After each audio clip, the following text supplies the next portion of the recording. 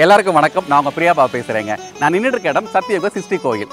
மதுரை ஒரு பெரிய ஆன்மீக பூமி. மதுரைக்கு நிறைய பேர்கள் இருக்குதுங்க. கூடல்மா நகர் கோயில் நகரம் மல்லிகை நகரம் திரு ஆலவை அப்படின்ற நிறைய பேர்கள் மதுரையில் இருக்குங்க. இந்த மதுரையில் உதயமாக இருக்க ஒரு ஆலயம் தான் சத்தியோக சிருஷ்டி கோயில். இந்த கோயிலோட சிறப்பம்சம் என்ன அப்படின்னு பார்த்தீங்கன்னா நூற்றி எட்டு தனித்தனி சன்னதிகளோட முன்னூறுக்கும் மேற்பட்ட தெய்வங்கள் இருக்கிறாங்க. இந்த கோயிலில் இன்னும் என்னெல்லாம் இருக்குது அப்படின்றத வாங்க பார்க்கலாம்.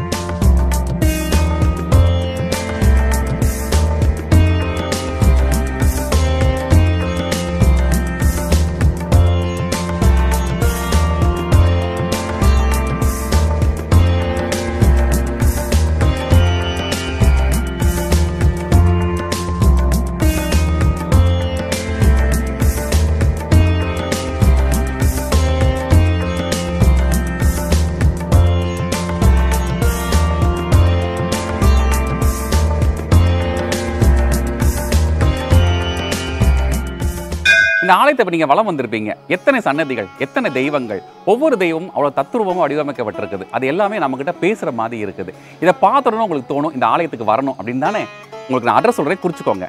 மதுரையில இருந்து திருமங்கலம். திருமங்கலத்துல இருந்து நம்ம விருதுநகர் கூட தேசிய நெடுஞ்சாலையில் ஒரு ஐந்து கிலோமீட்டர் தூரத்தில் இருக்கக்கூடிய ராயபாளையம் அப்படின்ற கிராமத்துல இருந்து அந்த கோயில் அமைஞ்சிருக்குது. இங்க என்னென்ன தெய்வங்கள் இருக்குன்னா? முக்தி விநாயகர் சிவன் பாண்டுரங்கன் ராகுமாயி ஆண்டாள் பக்தமீரா காளி அன்னபூரணி அனுமான் ரதி மன்மதன் காமதேனு அப்படின்னு பல தெய்வங்களுக்கு எண்ணற்ற கோயில்கள் இருக்குதுங்க. அது மட்டும் இல்லை இந்த கோயிலோட இன்னொரு சிறப்பம்சம் என்னன்னு பார்த்தீங்கன்னா இங்கே இந்திர சபை இருக்குதுங்க. அதே போல் குபேரர் பட்டணம் ரிஷிகர் உலகம் இருக்குது. கூடிய விரைவில் இந்த ஆலயத்தில் வந்து நாகர் உலகம் வரப்போகுது. அதே போல் நம்மளுடைய திருப்பதியில் இருக்கக்கூடிய வெங்கடாஜலபதியோட முழு வடிவம் இங்கே வடிவமைக்கப்படுது. இந்த ஆலயத்தில் நீர் நிலம் நெருப்பு காற்று ஆகாயம் அப்படி நம்மளுடைய ஐந்து பஞ்சபூதங்களுக்கான தெய்வங்கள் பிரதிஷ்டை பண்ணப்பட்டிருக்குது. அது மட்டும் இல்லை இந்த ஆலயத்தில் கங்கை யமுனை காவேரி சரஸ்வதி கோதாவரி அப்படின்ற அத்தனை விதமான தேவதைகளை இங்கே பிரதிஷ்டை பண்ணிட்டு இருக்கிறாங்க. இது ரொம்ப முக்கியமான ஒரு விஷயம். இப்போ நான் உட்காந்துக்க இடம் தான் முக்தி நிலையத்துக்கு உள்ள இருக்கக்கூடிய ஸ்ரீடி சாய்பாபா கோயில். இந்த ஆலயம் ரொம்ப பிரம்மாண்டமாக அமைக்கப்பட்டிருக்குது. இங்கே ஒரே நேரத்தில் பலநூறு பேர் அமர்ந்து தியானம் பண்ணக்கூடிய அளவுக்கு இங்கே வசதிகள் இருக்குது.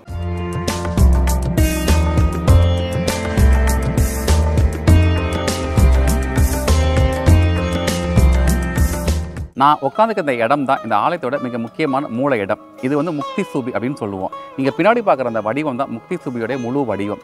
இந்த முக்தி சூபி இங்கே வரணும் இந்த முக்தி சூபி இங்கே இருக்கணும் அப்படின்றது ஒரு மிகப்பெரிய வரலாறு.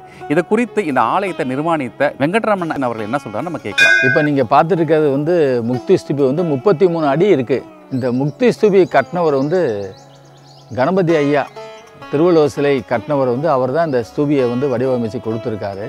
உலகத்தில் இருக்குங்க எல்லா மக்களுடைய தீய எண்ணங்கள்லாம் போய் எல்லோரும் நல்லவராக மாறணும் சொல்லக்கூடிய ஒரு டிரான்ஸ்மிட்டர் அதாவது ரேடியோவிலேருந்து எப்படி பாடுறதுக்காக வருதோ அந்த ஒளிபரப்பாகிறாங்களோ அந்த மாதிரி ஒரு சிஸ்டம் தான் இந்த முக்தி ஸ்தூபி. ஸ்ரீ காகபூஜண்டர் மகரிஷி வந்து சுமார் ஒரு ஐயாயிரம் வருஷத்துக்கு முன்னாடி எழுதியிருக்காரு. அவர் ஏழு நாடில் எழுதியிருக்காரு.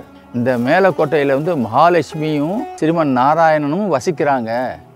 இந்த ஸ்தூபியுடைய நோக்கம் வந்து இது வெறும் ஸ்தூபி இல்லை துவஜஸ்தம்பம். இது வைகுண்டத்துக்கும் இந்த பூலகத்துக்கும் உள்ள இடை ஒரு பாலம் சொல்லி அந்த மாதிரி அவர் ஆரம்பிச்சிருக்கார். அந்த இடத்துல சைலண்ட்டாக போய் உட்காந்திங்கன்னா நீங்கள் எந்த தியானம் பண்ண வேண்டியதில்லை எந்த டெக்னிக் தெரிய வேண்டியதில்லை. யாரும் சொல்கிறாங்களே எப்படி செய்யணும் அப்படி செய்யணும் தேவையில்லை. சும்மா போய் மெய் மருந்து உட்காந்திங்கன்னா ஒரு பத்து நிமிஷத்தில் அந்த மனசு உங்களுக்கு அமைதியாயிடும். வெங்கட்ராமன் ஐயா சொல்ல சொல்ல நமக்கு ஒரு மிகப்பெரிய ஆச்சரியம் இருக்குது. இந்த முக்தி தொகுதி பின்னாடி இவ்வளோ வரலாறு இருக்குதா? நிச்சயமாக இந்த இந்த இடத்த நம்ம பார்க்கணும் நம்ம எல்லாருமே நினச்சிருப்போம். அடுத்ததான் நம்ம பார்க்க போகிற இடம் ரொம்ப முக்கியமான இடங்க. நம்மளோட இருபத்தி ஏழு நட்சத்திரங்களை பற்றி தான் பார்க்க போகிறோம் வாங்க அதையும் பார்க்கலாம். நான் சொன்ன நட்சத்திரத்துக்கான சன்னதிகள் இதான். இங்கே பார்த்தீங்கன்னா ஒவ்வொரு நட்சத்திரத்துக்கான தேவதைகளை தனித்தனியாக பிரதிஷ்டை பண்ணியிருக்காங்க அது மட்டும் இல்லாமல் அது பக்கத்திலேயே அதற்குரிய மரங்களையும் இங்கே பிரதிஷ்டை பண்ணியிருக்காங்க. அது இந்த ஆலயத்தோட மிகப்பெரிய சிறப்பம்சம். இதை தவிர மிக முக்கியமான கடவுளுக்கான தனித்தனி சன்னதிகள் இங்கே இருக்குது. அது என்னன்னு வாங்க பார்க்கலாம். நான் சொன்ன சில முக்கியமான கோயில்களில் இந்த ஐகிரிவர் கோயிலும் ஒன்று ஐகிரிவரை நம்ம கல்வி குரு அப்படின்னு சொல்லுவோம். அதாவது சரஸ்வதிக்கு கல்வியை கற்றுக் கொடுத்தவர் அப்படின்னு சொல்லுவோம். அந்த ஐகிரிவருக்கு இங்கே தனி சன்னதி இருக்கிறது மிகப்பெரிய சிறப்பு. தன்வந்திரி ஒரு மருத்துவ கடவுள். அதாவது பார்க்கடலை கடையும் பொழுது அதில் உண்டான அந்த ஆழகால விஷம் தேவர்களை தாக்காமல் இருக்கணும் அப்படின்றதுக்காக அந்த பார்க்கடலில் உருவான கடவுள் தான் தன்வந்திரி. இவரை ஆயுர்வேத கடவுள் அப்படின்னு நம்ம சொல்லுவோம். இந்த மருத்துவருக்கு முதன்மையான கடவுளாகி இங்கே தன்வந்திரிக்கு இங்கே தனித்த கோயில் இருக்குன்றது மிக சிறப்பான அம்சம். இந்த ஆலயத்தோட இன்னொரு சிறப்பு அம்சம் யமதர்மராஜா கோயில். இந்த ஆலயத்தில் யமதர்மராஜா பாசக்கயிறு இல்லாமல் சிரித்த முகத்தோட சித்தகுப்தரோட உடனிருந்து அருள்பாலிக்கிறார் இந்த ஆலயத்தோட மிக முக்கியமான சிறப்பம்சம் என்ன அப்படின்னா நான் நின்றுட்டு இருக்கக்கூடிய இந்த நவராஜ மண்டபம். இந்த மண்டபத்தில் காலதீஸ்வரர் மூலவராக இருக்க அவரை சுற்றி நவகிரகங்கள் பன்னிரு ராசிகளுக்கான அதிபதிகள் இருபத்தி ஏழு நட்சத்திரக்கான தேவதைகள் இப்படின்னு ஒரே குடையின் கீழே இத்தனை தெய்வங்கள் ஒரே இடத்துல அமைஞ்சிருக்குது. இது வந்து ஒரு பிரபஞ்ச அண்ட அமைப்பின் கீழே ஒரு குடை கீழே அமைஞ்சிருக்கக்கூடிய அமைப்பு. இது உலகத்தில் உலகத்துல வேற எங்கேயும் பார்க்க முடியாத மிகப்பெரிய சிறப்பம்சம்.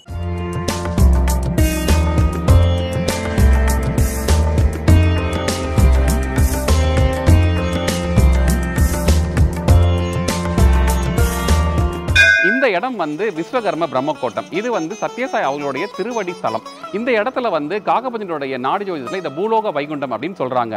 இந்த இடத்துல வந்து நம்ம தியானம் பண்ண பண்ண நம்மளுடைய எல்லா கனவுகளும் நிறைவேறும் நம்மளோட வேண்டுதல் நிறைவேறும் அப்படின்றது எல்லாருடைய நம்பிக்கை. ஒவ்வொருத்தருக்கும் ஒவ்வொரு இஷ்ட தெய்வம் இருக்கும் பிடித்த தெய்வங்கள் இருக்கும். இந்த ஆலயத்துக்கு வந்தோம்னா முன்னூறுக்கும் அதிகமான தெய்வங்களை ஒரே நேரத்தில் தரிசிக்கிறதுக்கான ஒரு மிகப்பெரிய வாய்ப்பு கிடைக்கும்.